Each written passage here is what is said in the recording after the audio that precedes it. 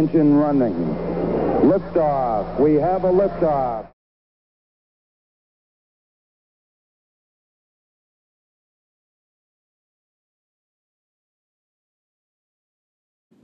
Ethereum 2.0 final testnet set to launch on August 4th.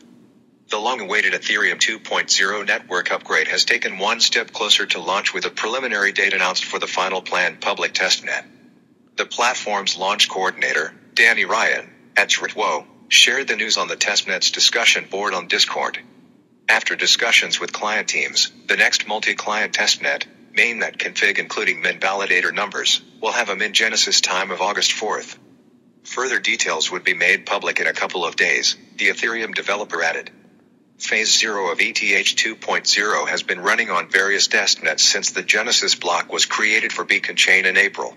Phase 0 is the first stage in the long awaited upgrade to proof of stake and will dramatically increase transaction speeds. Instead of the current proof of work system, which involves miners, ETH 2.0 will be secured by users putting up a minimum of 32 ETH stake to run a validating node. Three months of successful testing.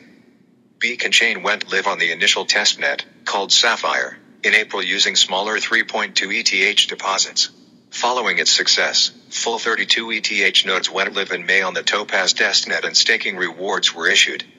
The Onyx testnet commenced in June and was running steadily with around 20,000 validators by the end of the month.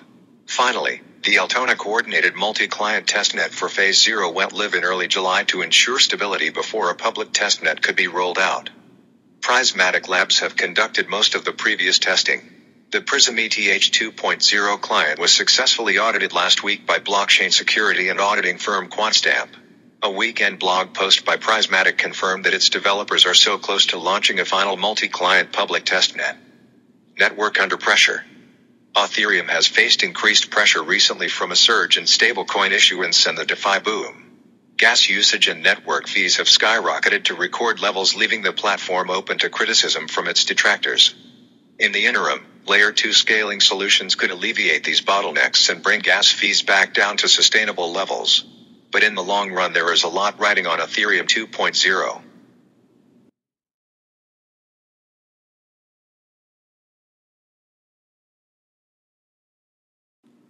U.S. banking regulator greenlights crypto custody at federally chartered banks. Per July 22 announcement shared with Cointelegraph, the Office of the Comptroller of the Currency, OCC, is granting permission to federally chartered banks to custody cryptocurrency. The future of banking with crypto on board. This issue has seen much skepticism, given that crypto wallets do not resemble the custody requirements of other sorts of assets. Nonetheless, in its interpretive letter on the subject, the OCC wrote. The OCC recognizes that, as the financial markets become increasingly technological, there will likely be increasing need for banks and other service providers to leverage new technology and innovative ways to provide traditional services on behalf of customers. In the words of the announcement, the new opinion applies to national banks and federal savings associations of all sizes. Acting Comptroller of the Currency Brian Brooks similarly saw the development as part of modernizing banking in the U.S., saying from safe deposit boxes to virtual vaults, we must ensure banks can meet the financial services needs of their customers today. The OCC's letter further specifies that bank custody of crypto assets is dependent on their access to the keys to the crypto wallets rather than any sort of physical requirement, a confirmation of Andreas Antonopoulos' famous line of not your keys, not your coins.